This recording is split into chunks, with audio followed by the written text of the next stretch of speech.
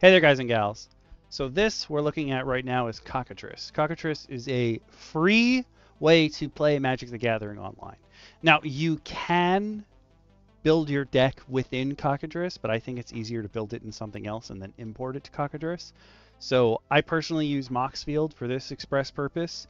Uh, there are other things that you can use, but in this tutorial today, I'm going to show you guys how to move your deck from Moxfield over to Cockatrice and teach you the easiest way to play Commander, because Commander is the only game mode that I play, so I can teach you how to do that. Don't write anything in the right side over here where it says deck, because if you write anything there when you import from Moxfield, Cockatrice is going to be like, are you sure you want to make changes to this deck you've built? We don't want to do any of that. We'll just ignore it. So don't write anything here yet. You could even not have Cockatrice started. I just wanted to show you guys what Cockatrice was. So you're going to open up Moxfield. I have some of my decks in here. Some of them I've already imported. Some of them I haven't. So I'm just going to grab Flame Speed After Images. So I've already built my deck for Commander. I have all my things here. One thing you want to understand is that I personally set up everything with exactly the cards that I've got.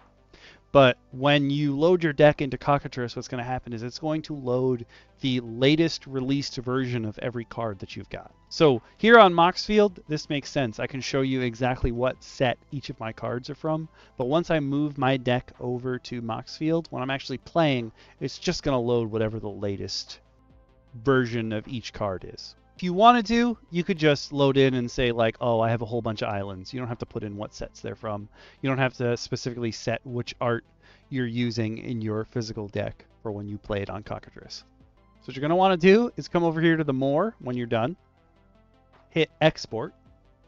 Now, it has all, this is exactly what's in your deck list. It tells you which version of each card you're using, yada, yada, yada. But what we want to do is go to copy for MTGO. So this is copied to the clipboard. Basically, it's just copied a version, a text version of all the cards in our deck. Then you switch back over to Cockatrice. You go to Deck Editor, load deck from clipboard.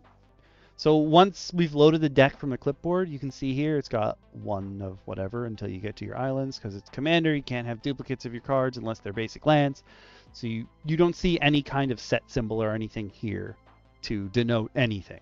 And then there's a space in between for your commander or commanders if you have two, because the way that Cockatrice is going to load up is that it's going to say that your commander is in the sideboard, because Cockatrice doesn't actually have a commander zone to put your cards in. So we hit OK, and now our cards come up over here.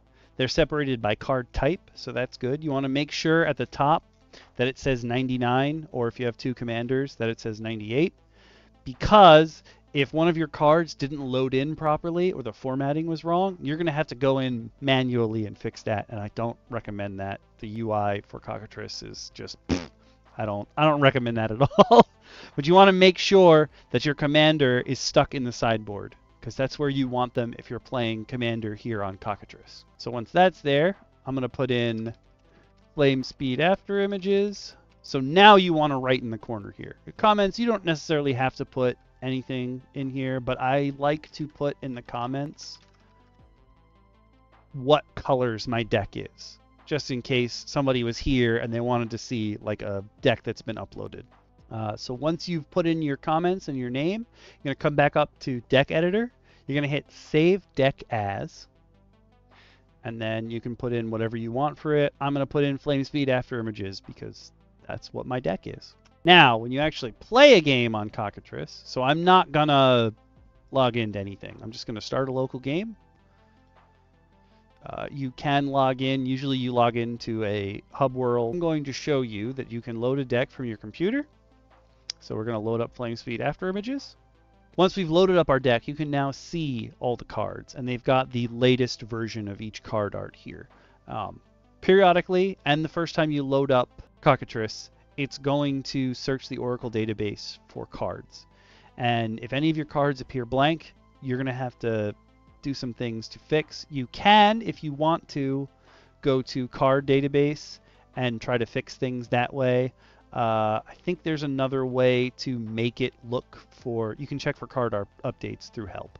Um, so if any of these appear blank but they have the correct name, that means it didn't ping them in the Oracle database, and you may need to work on that a bit. A bit. Now that this is here, we see our commanders in the sideboard. So we're going to hit ready to start, and this puts us in the game. Now you'll see that I started with 20 life, but commander, obviously you start with 40. So you can left click to go up or right click to go down, or you can hit control L and set your life to 40. I just think that's that's quicker. That's the easy way to go. Um, for your first hand, you can double click this. Just put it back. You, you can totally double click the deck to draw a card, but since it's your first hand, you can also hit Control M, and this will draw seven cards. And the way that me and my friends play Commander, we won't start a game unless we have at least three lands in our first hand. Technically, we did draw three lands in our first hand, but the cool thing about Control M is that you can choose the number of cards. So if you had to do this for some other reason, you could choose a different number than seven, but seven is the default. Once I hit this, it'll draw another seven cards and shuffle the previous seven back into the deck. So it's easier than pushing all the cards back into the deck every time. You can just control M to start. The next thing you should know is if you want to decide who goes first, you can hit control I and this lets you just roll a die. Uh, so generally speaking, everyone rolls a 20-sided die. The cool thing about this is you select the number of sides when you roll a die in Cockatrice. You don't decide the amount of dice. So 20-sided die, that's pretty standard. Uh, roll your 20-sided die. Whoever gets the highest goes first. That makes that makes perfect sense. So we're just gonna put it in there.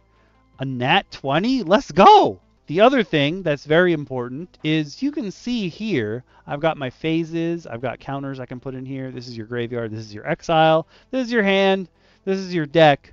Uh, you might be wondering, where the heck is my commander? So your commander is actually in your sideboard right now. Since you haven't played your commander yet, I think it's totally fine to leave them in the sideboard at the beginning. But sideboard is like the only thing that doesn't have a button on the screen that you can just pop open.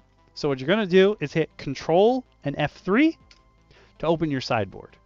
Now that your sideboard's open, you can pull your commander out. What a lot of people do in the essence of sportsmanship is they take their commander out and they put them over here. So this is supposed to be the stack, but if you leave your commander here, everyone can see it.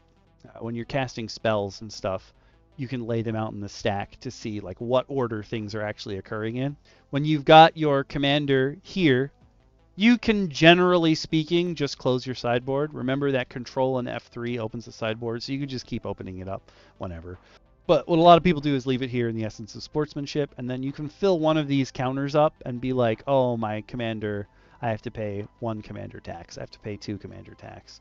Or what some people do is they just leave it the exact number of extra mana they have to pay, because your commander, you know, commander tax is two mana, colorless a lot of people do their commander tax up here and then the other counters are for whatever else they might need to use. But that being said, that's like the basis of how to play commander here on Cockatrice. And I figured I should make this video just so that there's a short one. There are tutorials, but they're like 40 minutes, an hour and a half long. And I'm like, mm, I mean, you could just make this super quick. Like, you don't need all that extra stuff. In the Okami Okamegakure Discord, there is an MTG channel that I've posted this handy dandy diagram in.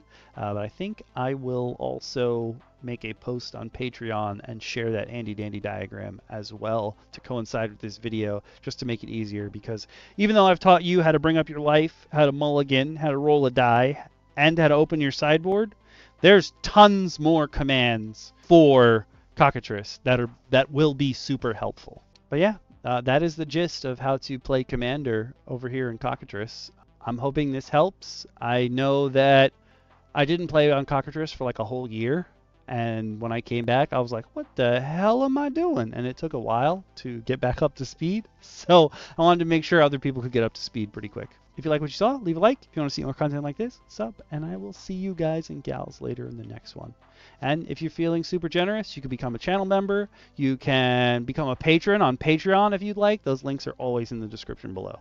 So good luck. Have fun playing Commander out there, y'all.